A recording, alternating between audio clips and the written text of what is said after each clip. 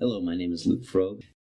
Fifteen years ago, I walked into a business school for the first time in my life and began teaching managerial economics to MBAs. I taught economics as I had learned it with models and public policy applications. It went over like a lead balloon, and the dean threatened to fire me unless customer satisfaction increased.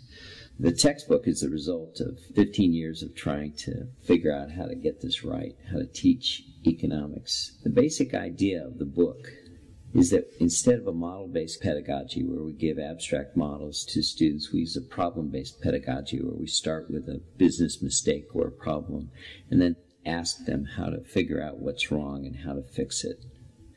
This requires a model of behavior.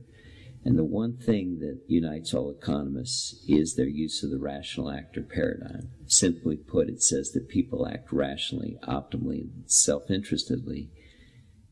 We begin with a business mistake and ask, why are people making mistakes? Under the rational actor paradigm, there's only two reasons to make a mistake. One is you don't have enough information, or two, you don't have the right incentives.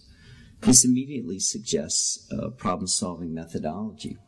You simply ask three questions Who's making the bad decision? Do they have enough information to make a good decision? And do they have the incentive to do so? Remember, incentives have two pieces. You have to measure performance and then you have to reward good performance. So once you identify what the problem is, then you have to figure out what the solution is. And there's three levers you can push. You can either let somebody else make the decision, someone with better information or incentives, or you can change the information flow, give more information to the current decision maker.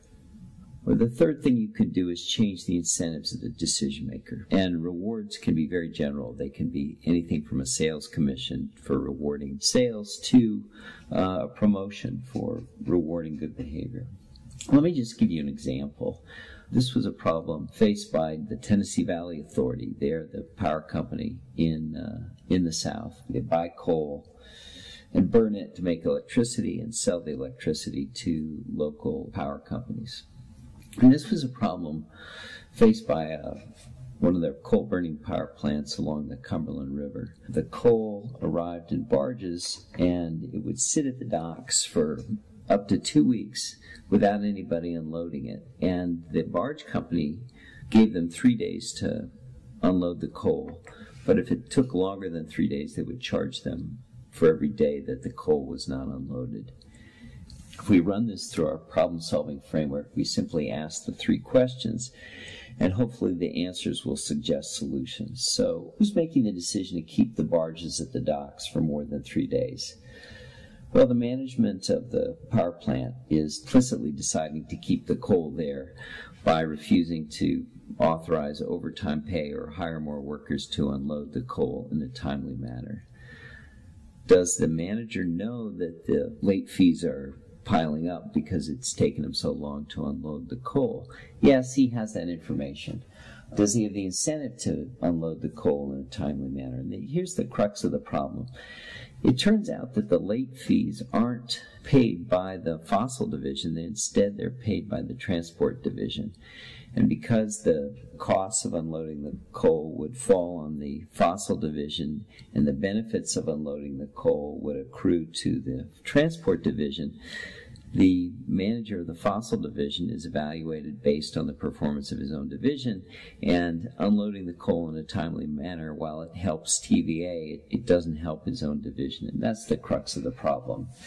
He doesn't have the incentive to unload the coal in a timely manner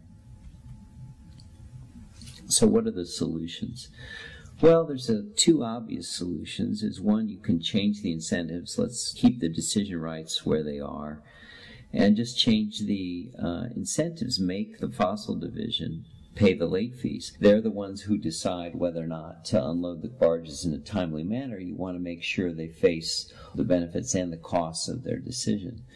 So this this would seem like a pretty easy decision and after you make that change, it's clear that the incentives of the fossil division would be better aligned with the goals of TVA If the late fees were more than the cost of the overtime necessary to unload the barges in a timely manner, then then the managers of the fossil division would have an incentive. The other obvious solution is to let somebody else make the decision. And here, because the transport division pays the costs of the late fees, you could let them decide whether or not to unload the coal.